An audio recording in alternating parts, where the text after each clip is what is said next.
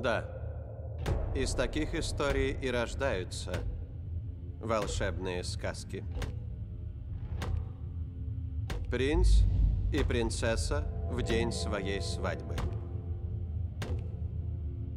Но волшебные сказки на этом обычно и заканчиваются.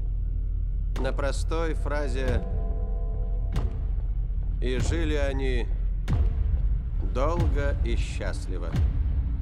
Муж и жена дают священную клятву.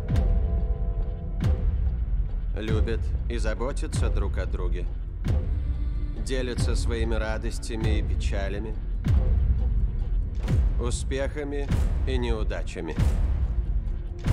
И брак меняет их обоих.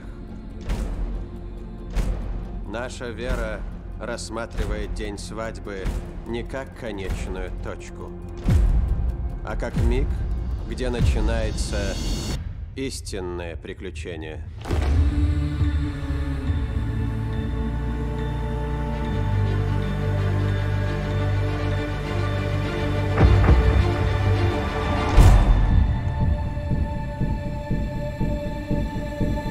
Корона.